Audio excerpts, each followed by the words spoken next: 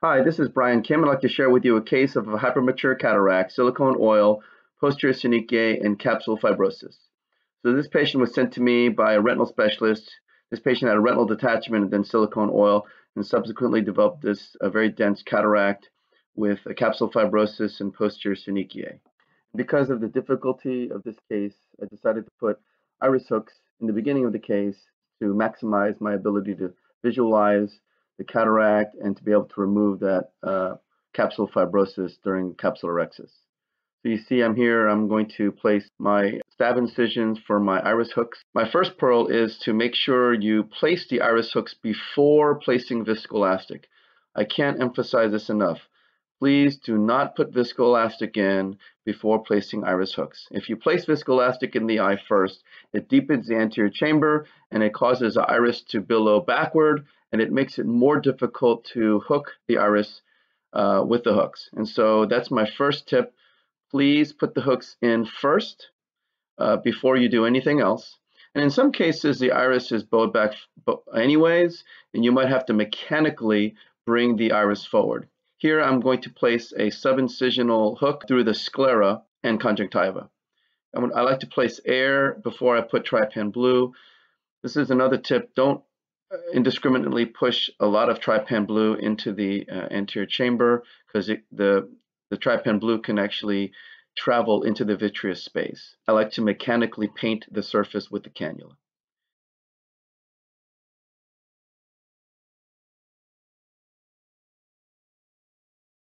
You see here I'm using a cystotome to try to puncture through the anterior capsule and you see here, I'm actually puncturing through the fibrosis, which is not working. So I go under the fibrosis and I puncture through normal capsule. And you can see I was able to get a little flap there. And then I'm going to go ahead and begin my capsulorhexis. As you see, as I pull upward, it snags an area of fibrosis and I'm, I'm not able to continue. Therefore, I use uh, micro scissors to cut through the fibrosis as much as possible and then uh, continue with the capsulorhexis forceps, taking care not to uh, propagate the tear uh, radially. And it's a little bit of a challenge. You have to be able to pull the rhexis around the fibrosis, and that's the key. If the fibrosis is so significant, you may have to can opener these types of cases. So remember, do not uh, overfill the eye with trypan blue, which can travel into the vitreous space.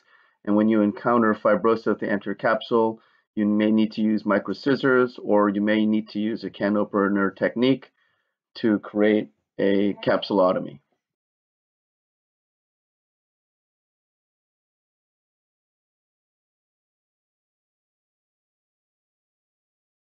I perform my standard capsular fornix hydrodissection. As I perform the hydrodissection and try to decompress the bag, you can see that there's significant uh, zonular laxity and the capsular bag is not quite stable. In these hypermature lenses, I like to create a central groove first. So this is like a modified stop and chop technique. And uh, this is another pearl. With these really dense lenses, as you sculpt, because the lens is so dense, it might not actually cut through when you sculpt. And then number two, in these dense lenses, there tend to be very weak zonules. And so what you do is place second instrument out to the capsular fornix to the equator, and then you can hold it as counter pressure while you sculpt. And so again, you want to place a chopper out to the equator, hold the lens, and as you sculpt, you're able to uh, provide some counter resistance, which will allow you to actually effectively sculpt deeper into the lens and effectively chop it. So as you hear, I'm going to rotate the uh, tip 180 degrees, and then I want to go ahead and proceed with uh, my chop maneuver. I uh, was able to get a nice chop all the way through. Because of the initial trough, this helps uh, prevent a, a, posterior plate phenomena.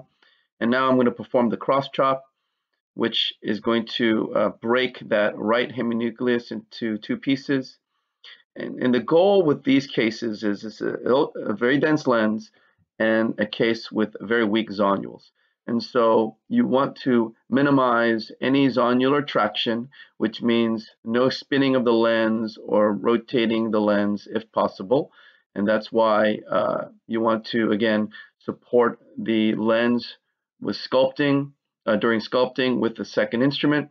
And then when you chop, you want to perform your chop maneuvers towards the center in centripetal fashion. And once you actually create uh, pieces, uh, you want to use mechanical fracturing techniques to crush the lens between the chopper and the phaco tip. And all of this can be done without any ultrasound or vacuum to again reduce any risk to the posterior capsule and to reduce ultrasonic energy. As you can see, uh, the chopping maneuvers are used and uh, the ultrasound is then pulsed intermittently to emulsify the lens material. The uh, if you look back into the the vitreous space, you can appreciate the glistening appearance of the silicone oil. The silicone oil causes the posterior capsule to be bowed uh, forward. So rather than having a concave posterior capsule, it, it tends to be more convex. And so this is where mechanical fracturing is really advantageous because when you have the posterior capsule coming forward, you want to be able to reduce your use of ultrasonic energy and vacuum. And that's what this technique does.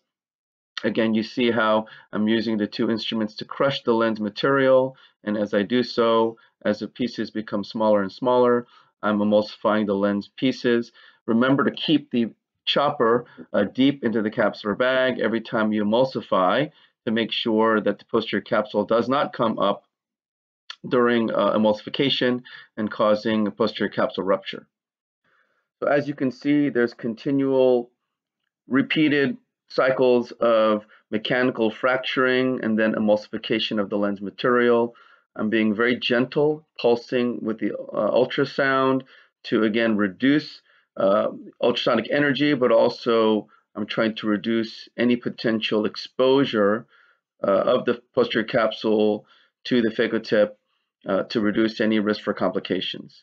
So you can see, uh, again, repeated maneuvers of getting the instruments together, crushing the lens material in between the chopper and the phaco tip.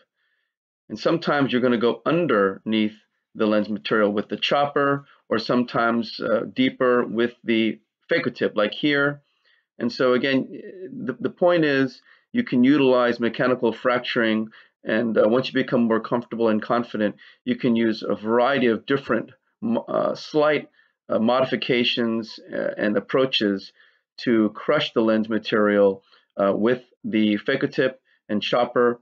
And all of this is done without having to spin the lens within the bag and reducing zonular traction and effectively removing the lens with as little phaco energy as possible.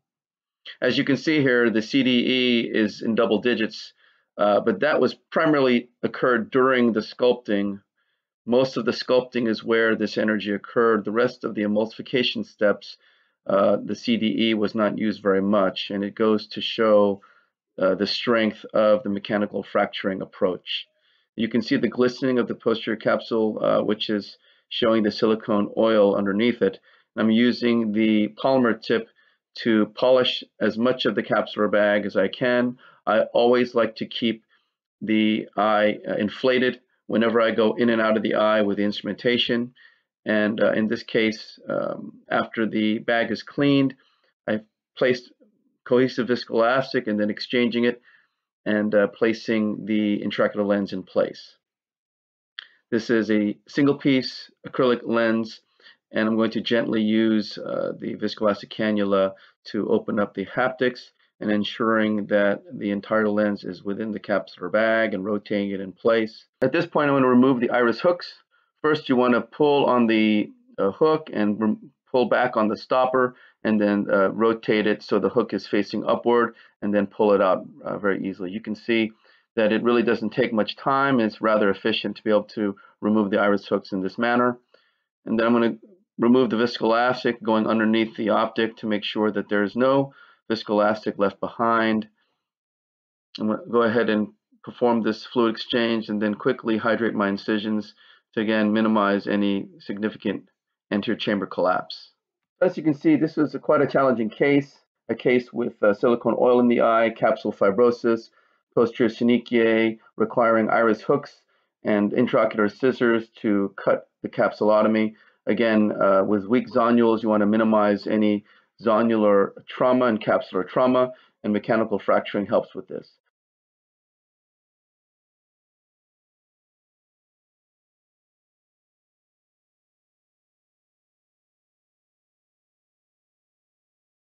I hope this was helpful to you, and thank you for your attention.